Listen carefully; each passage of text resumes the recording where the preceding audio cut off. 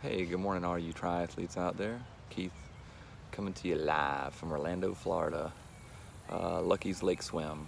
So check it out, www.lucky's Lake Swim in Orlando, Florida.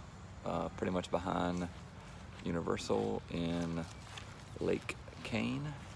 Um, had about a 228 pace, uh, went over four times. Um, I think it's about 2,800 yards, something like that.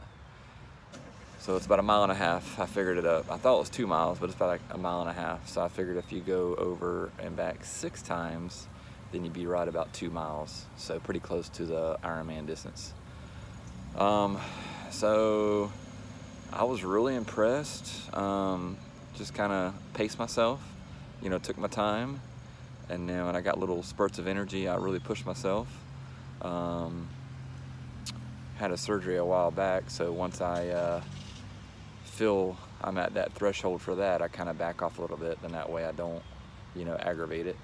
Um, but didn't cramp up, did a half a hot shot, like I've been preaching.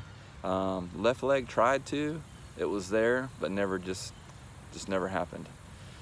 So that's all I got. Um, I'm gonna jump on the bike here in a little bit uh, for a four hour ride and then probably follow up with a, I got an hour and 35 minute run tomorrow, but I might do 35 of that today um, as a brick workout after the bike. So we'll see how it goes, see how the heat, you know, works out for us. Um, so this is week five, day six. So one more day and I have uh, this week behind us. So, and we'll be at the six week mark, halfway point. So pretty excited and nervous all at the same time.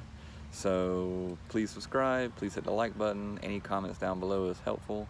Uh, once again, thank you guys out there for watching. Have a happy Saturday, uh, happy training, and always remember, safe training. Um, talk to y'all soon in the next video. Have a good day.